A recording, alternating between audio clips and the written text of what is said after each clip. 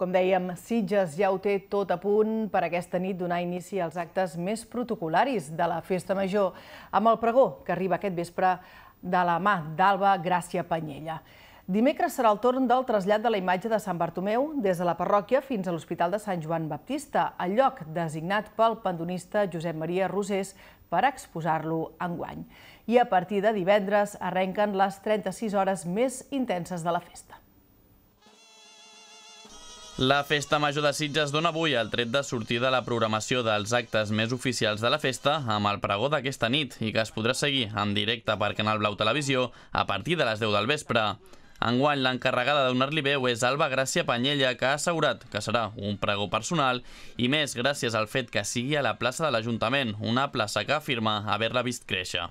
Intentaré uh, ser molt sincera, serà un pregó molt personal, òbviament, i a més jugo a casa. És la plaça de l'Ajuntament. Allà he crescut, allà he viscut, he plorat, m'he enamorat, he començat a tots els assajos, a tots els balls i per tant jugo, jugo a casa.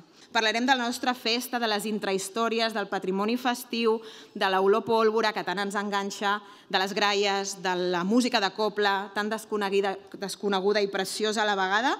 I sobretot ens ho passarem bé i ho celebrarem plegades que el sitgetanisme més més carrincló també mola.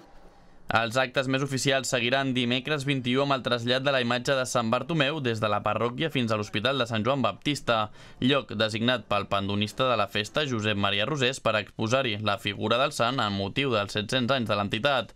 Rosés ha estat escollit pandonista per la seva implicació una mica diferent amb la festa. Jo no he sigut una persona participativa en balls i coses així, però la festa major amb mi personalment se m'ha portat bé aquest any, fa 30 anys, vaig poder declamar el pregó de Festa Major en el Saló d'Or del Palau Maricel. Un pregó que va, va canviar una miqueta, perquè fins a aquell moment es feia molt seriós. Una taula, una llumeta, tots ben sentadets, eh, molt d'allò. Jo vaig voler-ho canviar. I vam fer-ho de peu dret i vam posar música de fons. Va ser el primer pregó on es va començar a haver-hi alguna cosa diferent a la paraula. La figura de Sant Bartomeu quedarà exposada a l'hospital fins que la processó cívica passi a recollir-la. Una processó de la bandera que se celebra el dia de la vigília i que tornarà a començar des de la zona de Pinsbens, prop del domicili de la presidenta de la comissió, i que assegura que serà una mica més curta que l'any passat. La novetat és el nou tram en calma per a persones amb sensibilitat auditiva que serà al carrer Joan Ramon Benaprest, tot just abans de l'entrada a l'hospital per recollir el sant.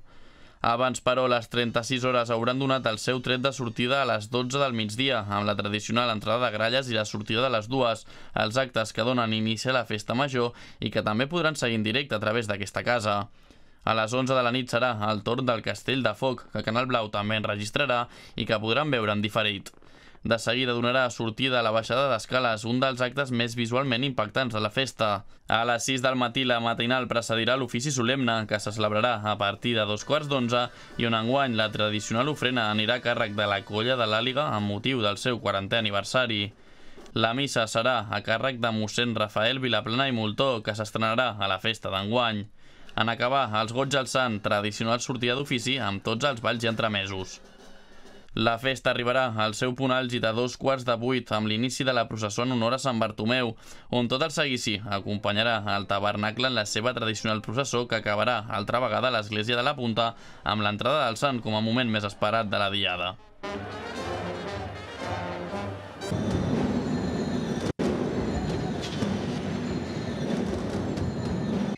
Encara hi haurà temps, però, per fer les enceses finals de les bèsties de foc